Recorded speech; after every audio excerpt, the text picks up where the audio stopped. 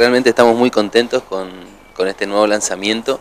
Estamos lanzando en este caso, en esta oportunidad, los cursos de mozo y camarera y de bartender, con 65 cupos para jóvenes entre 18 y 30 años en situación de vulnerabilidad de la localidad de Puerto Iguazú.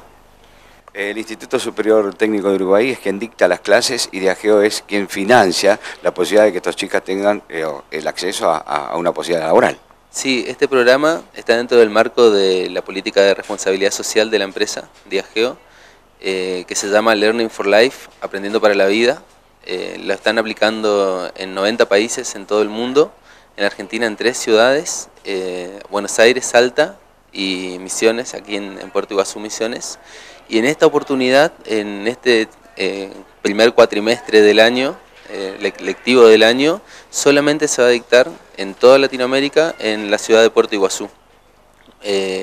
porque consideran que nosotros somos em, localidad modelo para el dictado de estas clases, así que bueno, decidieron, por más que no tenían presupuesto, digamos, trabajar con nosotros igual.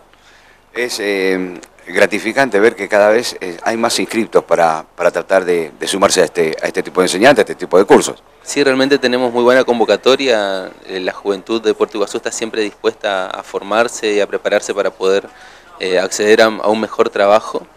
Y, bueno, en realidad nada de esto puede lograrse sin la articulación de, otros organismos, como por ejemplo en este caso es la Municipalidad de, Puerto Iguazú, que pone toda su estructura y toda la, eh, toda el área de gobierno directamente eh, al servicio nuestro para poder trabajar tranquilamente y desarrollar buenos cursos de excelencia.